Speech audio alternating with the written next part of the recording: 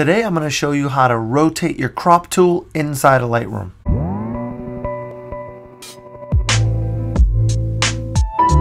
What's up nerds? Welcome back to another tutorial. I'm really excited to bring you today's tip because this is a question that I get asked a lot of times and there's a couple of ways that you can do it and basically it's how do you rotate your crop tool inside of Lightroom and believe it or not this is something that I learned uh, some time ago but wished that it was something that I had learned sooner.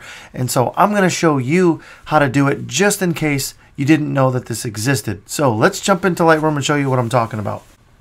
So here I've got an image and what I'm going to do is first head on up to the crop tool and I'm gonna choose a ratio that's a little bit more dramatic just because I think it's gonna be easier for us to see what is happening here. So I'm gonna go underneath the original and I'm gonna choose the 9 by 16 ratio.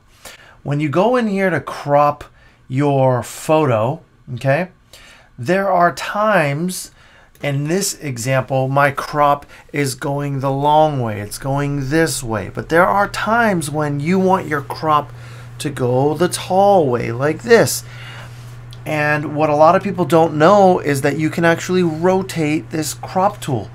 If you put your cursor right here at any of the corners, you'll notice that your cursor will turn to a diagonal 45 degree angle. And when you get that 45 degree angle, if you literally just pull straight across, it will rotate the crop tool. So I'm going to show you. If I just keep pulling like directly across, you'll notice how just like that, it'll snap and it'll go long ways to this way. That's one way to do it. But this is not uh, user friendly and it's not very intuitive for a lot of people. In fact, I have sat with people on a one-on-one -on -one mentoring session and watched them try to do this. And it's almost impossible for them to figure out. So, the easiest way to do this is to hit the letter X on your keyboard. Just hitting the letter X, nothing else, will rotate this crop tool. So, you can have it either horizontal or vertical.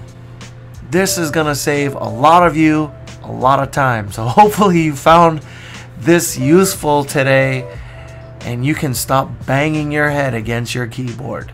You're welcome. Have a great day, everybody.